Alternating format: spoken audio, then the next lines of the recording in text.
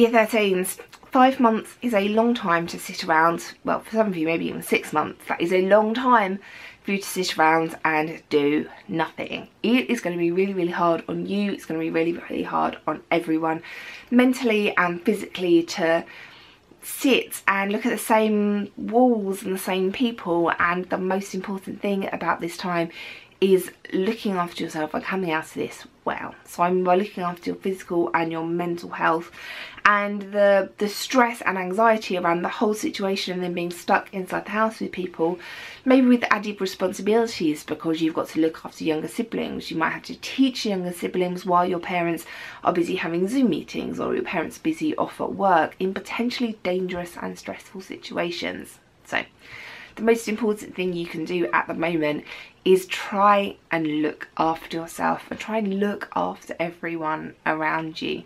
Because it is on completely unprecedented and strange times. And if you have to take over the role of looking after the house, looking after your younger siblings, your cousins, potentially looking after older people in the house and doing the washing and doing the cooking, just so that your parents can work and keep bringing in money to feed you and make sure that you have a house to live in. That is an important and valuable contribution and it may feel strange that you're doing it, it may feel strange that this is what you have to do, but it is important. Now, A results day has been confirmed to be the same, so that is the 13th of August.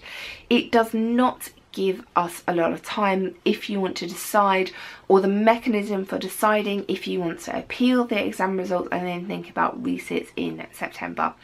But considering you're supposed to be starting university in September, October, we are really, really hoping that the universities are going to follow the government advice and um, be considerate when um, thinking about applications.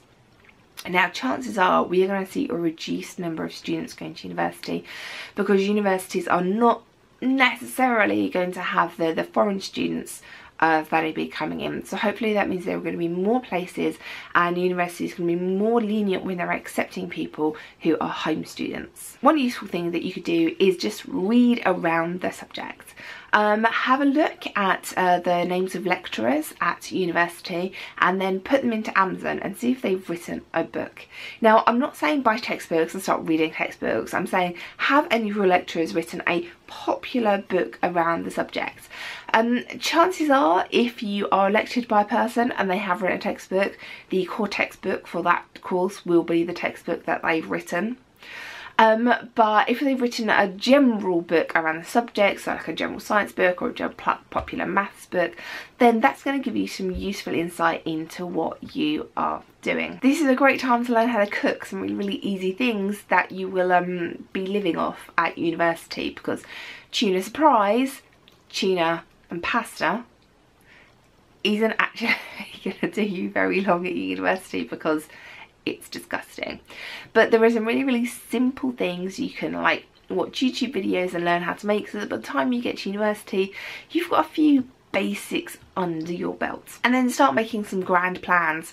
Start planning a great escape because I honestly, if you're anything like me, I am desperate to leave the house and do some travelling far, far away from here. So it is kind of sad that this is the end for us. Um, unless you're resitting, there's probably no point you watching my channel anymore. So, goodbye guys. Ouch. Mm, love you too, Prim.